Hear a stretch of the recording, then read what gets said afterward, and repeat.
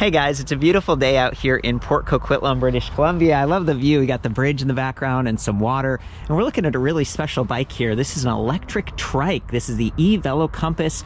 I covered this model two or three years ago, but Evelo's actually been around as a company since 2012, which is when I started doing e-bike reviews. So it's kind of like seeing an old friend. It's neat to see some of the upgrades and improvements. One of the first things I noticed is that the basket is now aluminum alloy. I think before it was steel, and that made the bike way more, and if it got scratched, you could get rust and stuff. So to me, that was a big upgrade. Uh, handlebar is steel, and it's this high-rise, really swept back, almost a cruiser orientation with the ergonomic grips and stuff. It's all about comfort comfort here. Very approachable, easy to step over the frame. You don't have to balance it because it's a trike. You got three wheels. And one of the really cool things that Evelo has done is they've added a differential in the rear, which means that your power and your braking goes to both tires. So it's not just one tire is going to get worn down faster than the other and you have to worry about changing the tires and stuff. I think that's fantastic. I also really like the wheel size that they've chosen, 24 by 2.4. So you get a lower attack angle than if this was a 20 inch wheel. I love that they got the reflective sidewall stripes. The trike only comes in white, kind of a glossy white. I think it used to be sort of a dark green, but they must have just said, okay, let's, you know, the white is the most popular, so let's stick with it. It is completely purpose built whole bunch of wires up here because we've got the motor inhibitors from both brake levers. We got a trigger throttle, which is very handy, especially on a, a, heavier bike like this. This is about 78 pounds, but it has a 350 pound weight capacity up to 80 pounds in that rear basket. I mean, you could do all of your grocery shopping or maybe take a pet or just go to school, whatever it is that you're doing out there having fun with this thing. It's a pretty capable bike. So back to, you know, the internally routed cables, they stay out of the way, keeps this nice and clean and open. One thing they don't have is bottle cage bosses. Uh, a lot of times you can get kind of a, a cup holder thing for the handlebars up here some sort of aftermarket solution, but I did want to call that out. It's something I usually looking for. And it's a mid-drive. So that's neat. Brings weight forward, keeps it low, and you get a little bit of extra mechanical advantage because the motor is benefiting from the gear that you choose. And this is a three speed. It's got an internally geared hub right here. And then you can see there's two chains and then we go into the differential. It's a very fancy bike. It's, it's really neat to see this. They're using Shimano Nexus. That's the Inter 3. We got the twist shifter up here so you can actually shift at standstill, which is kind of convenient. And that combined with the throttle, combined with the shift sensor, that's going to really protect your drivetrain and, and just going to work out well. Brakes are important too, especially you're dealing with a heavier bike. We've got these 180 millimeter mechanical disc brakes, four finger levers, so that gives you a, a better mechanical advantage when you're pulling with your, your hands. Of course, hydraulic disc brakes would be nice, but that costs a little bit more. These are going to be a little bit more adjustable uh, aftermarket just with your own tool set. They do offer free shipping in the contiguous US. You have to pay a little bit more for Alaska or Hawaii. To me, it's really interesting. It's supposed to be almost fully assembled. You got to do maybe add the handlebar up here, add the pedals, and uh, yeah, just this nice high rise we were talking about kind of steel might dampen some vibration. Non-locking but ergonomic rubber grips. We got the the brake levers here and one of the other things i wanted to point out was there is that kind of locking switch right here. So you can unlock them or you can lock them into position that way the bike doesn't roll away. Because again it's a trike. There's no kickstand. It's always it's always ready to go and we've got that on both sides. Some of the other safety features here we've got the integrated lights front and rear. The rear light actually has braking and bright mode. I'm going to show you that once we power the bike on. But yeah, just the cockpit to me, it's very, it's fairly adjustable. This is a quill stem. It goes up and down 25.4 millimeter bore on the handlebar. So it's a, it's a little bit kind of classic, old school compared to the new mountain bikes. They're 31.8. Things got a little thicker. But again, steel, very sturdy, uh, you know, kind of that vibration dampening. If we come back down here for a second, 170 millimeter these are just standard forged aluminum alloy crank arms. They're kind of BBS02 specific. That is the mid-drive motor here, and you can't see it. It's actually surrounded by this frame material. Looks really nice and clean. The BBS02 is very proven. It's one of the older motors from Bafang, 500 watt rated, over 800 watt peak, and then these guys are telling me it's over 100 newton meters of torque very impressive. So plenty of power, very proven. It is a cadence sensor, and I think it's like a 12 pole. So there are like 12 sensors in there. F- fairly responsive and dynamic, not quite as sophisticated as maybe like a Bosch motor or something that's measuring your rear wheel speed, pedal cadence, and pedal torque. This is just pedal cadence. But when you combine that with the throttle and the shift detection and stuff. It's it's a really good setup, and the reliability is something that really stands out to me. This might be the kind of bike that you know you get it. It's it's hard to take this to a shop, uh, and then you know coming back to the assembly and stuff. It's so nice that they they deliver it and and it's mostly ready to go. It can be quite a bit of extra work to take the wheels off and stuff up front you know standard 100 millimeter hub spacing with a quick release 9 millimeter axle and stuff the, the tires the reflective sidewalls are great i did not see puncture protection rating so just keep keep your eye on these. You know, don't let the pressure get too low and end up with a pinch flat or something. It'd be a lot of work to take these off. I think these are thicker, like 14 millimeter axles, pretty custom back here, especially with the differential we talked about. And then I saw this black box. I think that's actually the controller. You can see some wires running to it, and then this extra piece of framing right here that protects it from the rear, from the bottom. So it's a pretty, it's a pretty tough machine. I think if you take care of it. Um, nice wide rims, 13 gauge, thicker spokes, 36 hole rims as well. We might as well talk about the, the fenders here. We just got these strips of plastic. You know, it's kind of adjustable. You can actually move this side to side. The front is a little bit more fancy. It's it's kind of rounded. We got the plastic ends and stuff. They're both plastic, right? But um, yeah, it's been pretty quiet for me. It hasn't been rattling too much. These ones are just going to kind of keep the stripes from hitting your elbows as you as you pedal, or if you put your arms out side to side and they, they just seem flexible is the way I would describe them. Nice to have, not quite as fancy. They're pretty high above the, the tires too. I guess I haven't ridden enough in the water and stuff to really get a feel for it, but they it's better than nothing. And um, you know, with the black, they they tie in nicely. Nice bamboo deck. We talked about the 80 pound max weight rating on this basket. It's really big. You know, it's pretty tall too. For me, that's a really exciting feature on the bike extra comfortable wide saddle here from Velo with kind of a memory foam. And then we've got a 27.2 millimeter seat post that's 350 millimeters tall. No quick release collar here. You need a tool to adjust that. But I'm, I'm calling attention to this because this one area where you could further improve comfort on the bike, you could get yourself a suspension seat post and just get a little bit more comfort. Already got that nice upright body position and stuff. And then down here, kind of pairing with the fenders, is this semi-clear plastic chain cover, which is perfect if you have a dress or you have the longer kind of wide pant legs like I've got here. You don't want those to have to touch the chain and get dirty or get snagged. And then the pedals, aluminum alloy with that rubberized tread. I, I like the ones that are a little bit wider than this, but it could definitely be worse. The rubber it's not going to scrape your shin if you slip off accidentally. It might not give you as much traction as the ones with the big thick metal nubs, but you won't scratch yourself. And they got the reflectors and everything built in. Drivetrain, 22 teeth on the sprocket back here. Uh, 40 teeth on this front chainring, down from 42, so it's actually a little bit smaller, which I think gives you a more of a mechanical climbing advantage.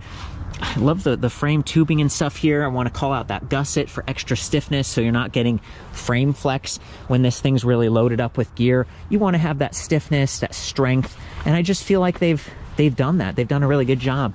This might be a speed sensor on the front wheel, by the way. There's the spoke magnet. If you ever get like a read error on the display, this is something worth checking because sometimes it gets spun around and then the, the bike's like, oh, we don't know how fast you're going. So I'm gonna call that out while we're, while we're down here. Okay, let's explore the little welcome kit that they give you. We got this charger, SANS, I'm, I'm very familiar with this charger. I've seen it from a lot of companies. Just 2 amp output, fairly light, about a pound and a half. Not the most compact thing, but pretty easy to replace. Probably pretty cheap to replace too. I think it's going to take about six hours to fully charge a battery if it's completely empty, um, but you can usually charge the lower half in just a couple hours. Uh, later, as it's starting to balance the cells, it takes longer. So, you know, it's like fast and then it slows down a little bit. The keys, you can see we got a lot of keys here. And I was a little concerned at first. I thought, oh man, you know, since they're two battery based, you have to have separate keys for both. And they said, no, it's the same key. We just give you extras. And that is so nice. It's really wonderful to be able to use just one key and handle both of the batteries. And then of course we got some user guides in here, a little bit about the bike, a little bit about the display. The display is really cool. I'm excited to show you that in just a second here. It's uh, magnetic there. So I've unlocked both of the batteries, or what appears to be a battery. This is actually, this is hollow. This is just sort of a placeholder to protect the, the leads and stuff. And it's kind of interesting. They give this to you when you when you buy the bike with just one battery. In some ways, it's like that's a lot of extra plastic. But on the other hand, it's really nice that they're giving you this this interface here so that later, if you decide to get a second battery, again $800, you can double your range.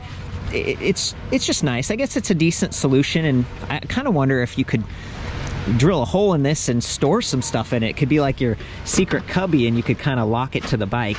And then this is a real battery over here. So again, about six pounds. We got a little charge level indicator right there. And then an on off switch. So you know, if you want people to not be able to tamper with the display and mess with the throttle and stuff, you can come back here, you can turn this off and uh, just kind of makes the bike immobile. There's the charging port for the battery one of the trade-offs here is you do have to charge the batteries separately and the plug is a little hard to reach on both of them. I mean, the light blocks it a little bit. That's the light I was talking about. It has brake light. It's really nice, Spanninga Lineo. Um, but yeah, it does kind of creates a little bit of tightness back here. So for me, there's a bit of a just extra screwing around every time you want to charge these. Keep the batteries in a cool, dry location try to keep them from getting too much below kind of the 20%. You really don't want these to ever drain all the way. You don't want to store them in a really hot place because that's hard on the cells and, and then you're not going to get as many full charge cycles. So once you've charged the batteries and you mounted them to the bike, if these were both actual batteries, they would discharge in series. So they don't drain evenly, it kind of drains one and then the other. Interestingly, the display will recalibrate and show you kind of a combined uh, watt hour rating total. Each pack would be rated 48 volt 10.5 amp hours. So it's a 504 watt hours. When you have two batteries, that's over a kilowatt hour of capacity. So my estimate is that it's kind of like 18 to 35 miles per charge. And if you had two batteries, maybe you could get up to that 80 mile range kind of thing. It really depends on the, the tire pressure. If you have these really full, they're going to be more efficient, or if you're a little bit softer, how heavy the load is, how full this thing is, whether you're going up hills or through kind of softer terrain and stuff. But that's pretty good range for a, for a, a heavier bike like this with the throttle. You could really go the distance, maybe even replace your car with this, depending on the situation. Okay, let's go ahead and boot the bike up. We'll come over here, turn the battery to on and then hold the little power button for a second. We get the nice little Evelo readout. It is branded, but this is a Bafang's display. Looks like a ambient light sensor, which is kind of fancy. Really nice readouts here. It's fairly large, even though it's a little bit more down because of the way the handlebar's set up. We got a clock, battery charge level percentage, which is much nicer than just having five blocks or something. So it's it's a little bit more precise. And then we have our speed with a nice little readout, almost like a car or something, speedometer trip distance, and then uh, current assist level. And it seems to reset every time you power cycle the bike, it goes back to level one, which means the throttle is hot. So if you bump this, the bike can start going unless you have the brake lever pulled, because again, these have the motor inhibitors for safety. So we got assist level one. If you take it down to assist level zero, the throttle no longer works. And you're basically just riding around a heavy bike, pedal power with lights, which is kind of nice and then we have five levels of assist. If we want to uh, change those levels of assist, you press the plus or the minus. If you want to change some of the readouts on the display, you can press that I info button. So we'll see it goes from trip distance to odometer, max speed, average speed, range, and range is so cool. Like here we are in assist level five, that's the most power. If we arrow down with the minus key to level one, it goes up to 34 miles. So you really get a sense for how far you can go and it's dynamic and I appreciate that. So then we press the I button again, calories, so it estimates how many calories we're burning and then time and back to trip distance. So it just kind of goes around in a circle. We've got that dedicated light button, which is very nice. You don't have to remember a, a series of button presses like some other e-bikes. If we hold that for a second, the display actually gets darker. So here's the lights off and here's the lights on. So again, protecting your night night vision with that. There's the Kendo Plus headlight.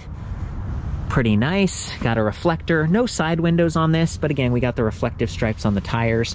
And then here's the Lineo in the rear. It's a little bit low on the trike. It'd be nice if it was up higher, but this keeps it more protected if you bump into a wall or something. So when I pull the brake levers, check this out we get that bright mode, which is very fancy. Definitely appreciate that. You want to be seen when you're a little bit lower to the ground. And while we're thinking about bumping things, this is about 29 and a half inches wide. So it's designed to fit through most doorways, uh, maybe into your garage or something like that. And we've got these rounded nuts on the end that, that might not you know, maybe not quite as sharp as a rectangular thing. I, I think that's kind of nice. You know, they did purposely make this just so you can, it's a little bit more usable that way. Maybe you park it in your workshop or something. So back to the display, I'm gonna turn the lights off so the display is easier to see for us. And one of the, the cool secrets here is if you hold the minus key, we actually get walk mode. So the bike kind of moves itself like this, which could be very convenient if you just don't want to ride, but you want to use this like a powered wagon and it'll take your stuff for you and maybe climb up your driveway or something like that. That's pretty handy. And then the I button, if we double click that, we'll get into this settings menu. So it says display settings, click the I again to select it. We can adjust all kinds of stuff. So units, we could go to imperial or metric, backlight brightness on the display, auto off, so how quickly it turns the trike off. The assist levels, we can change it from five if we wanted, go up to nine or down to three. So five's kind of the, it's a good balance of a few different choices, but not too many. And then view, power view, state of charge, percentage. That's what I was talking about. I like that it's percentage, more precise. Trip reset, wheel size 24, that's correct. Speed limit, so we actually can lower the speed limit from 20 if you're someone who wants to get better range or just, you know, this, it can feel a little unstable if you're going fast and you turn, the trike can kind of get up onto two wheels like this. And that's, it's not just this trike, it's, it's most trikes that are set up like this. So keep that in mind. It's nice you could adjust the speed and then uh, sensitivity on pedal assist, set a password, set the clock, go back and then information, it's another menu here. We can see about our battery and the error codes. And that's about it. Go ahead and exit. That's the full walkthrough of the display. There's one other cool feature this display offers though. In addition to being sort of adjustable angle, there is a USB charging port on the bottom. Full size USB type A. It's pretty standard. I was told it's 5 volts, 500 milliamps, which isn't quite enough. You know, a lot of today's devices are like 2 amp, you know, and that they're you can do the fast charging like a smartphone or something. It'd be nice if this was like 600 milliamps or something, but yeah, I guess it's better than nothing. 500 milliamps is kind of standard. Um, and it's right there where you want it if you wanted to add some lights or maybe do a phone mount. So I think that's that's a pretty good walkthrough of the trike. Maybe we should get on this thing and go go for an adventure. So the tire pressure is 35 to 65 psi, which is a pretty good range. At the lower levels, you're going to have that nice, comfortable, squishy feeling, but it's not going to be as efficient. I'm here on, on the, the wood on this boardwalk, and it's pretty quiet. The fenders aren't rattling. That 24 inch wheel diameter is nice and comfortable. And then here's kind of a tight area. I can navigate right through.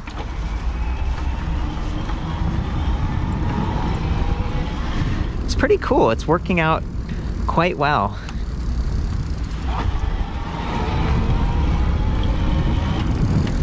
It also seems really smooth and quiet, uh, and I think they've they've probably dialed in the BBS02 mid-drive motor to be a little bit, you know, more gradual in how it picks up, which I think makes sense on a on a trike especially. So let's do some off-road. Here's some gravel getting in that fender a little bit.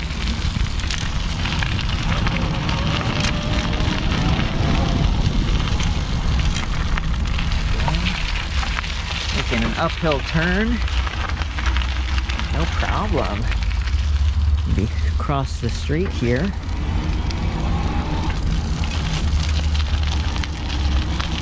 I even want to fit right on this this sidewalk. No problem.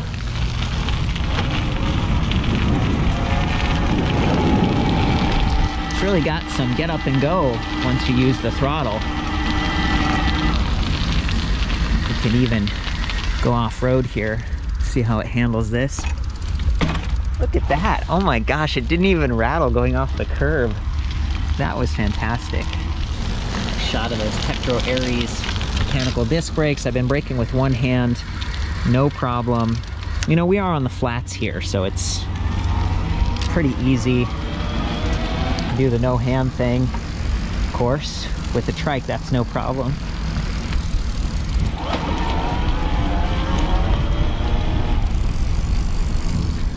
Ahead and shift gears here. Take it up to three and we get a lot slower pedal cadence, really comfortable.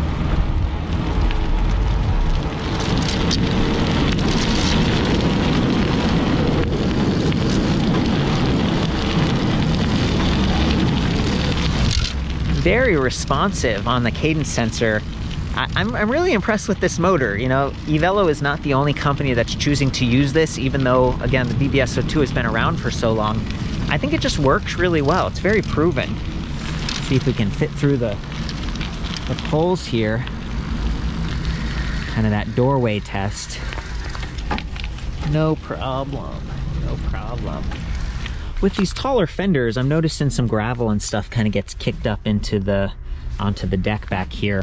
You know, for me again, it's like these these don't look at quite as beautiful as the front fenders, but if they're really close and too tight, then they, they might make more rattling noises and the gravel might hit them. So I think it's kind of a trade-off and at least they have fenders. I'm on a hill right here, so I wanted to do kind of a hill climb test. If I just hop on the bike, press the throttle seems like no problem. I mean, it, it has a lot of power.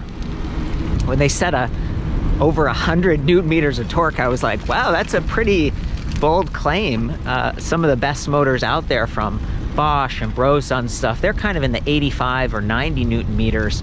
So even if this was 80 or 90, it's it's pretty good. Uh, although, you know, the bike is heavier, so you do want that extra, you want the extra power. No problem climbing this thing. And then as I mentioned before, you, you stop and you just lock the brake. These are some of the easiest brakes to lock. I've seen other designs where you, you I'd have to take off my gloves and really be very intentional. And it seems to work just fine. I mean, there's no problem. You, you can lock the front and that, that disc brake right there that handles both wheels. Go ahead and unlock it. Can lock that into position. Just want to test that it, oh, look at that. So when I, when I turn that one, this one goes in the other direction and that sort of demonstrates the differential. That's kind of cool, huh? Yeah, so the brake and the motor is sending power or, or stopping both rear wheels. That's fantastic. Really fancy for a bicycle.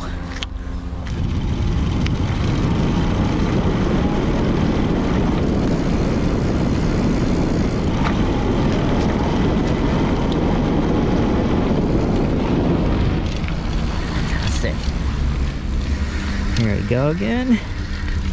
No problem. Okay, I'm gonna hand the camera off and we'll get the third person perspective and you can see this thing in action. I wanted to do kind of a turning radius test here, so I'm gonna take it down to the lower level, just so if I hit the pedals, we don't go, go flying. And um, actually shift down to a lower gear too and just kind of pedal. Look at that, wow. I think that's made possible in part because of the differential. We're not skidding all over the place or, you know, putting too much pressure on the system.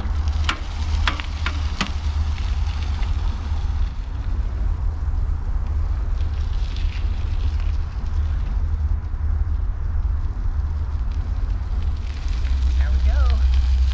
Feels great.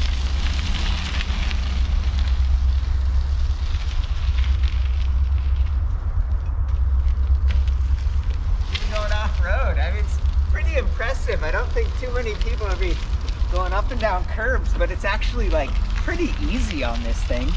Uh, and if you want to get really wild, then you kind of get it up on the two wheels, sort of lean it side to side like that. That's what I've been talking about before. If you're going fast, you just want to be gradual with the turns, just like on any trike. But this one feels really stable. I think it's a great combination of narrow enough to get through doorways, but very stable and low center of gravity with the mid-drive, and even the batteries are under the deck. And I wanted to show off those lights one more time too. So if I hold the light button Get that headlight, kind of aim it up. And then the rear light, even though it's a little bit low, I love that it has the brake light activation.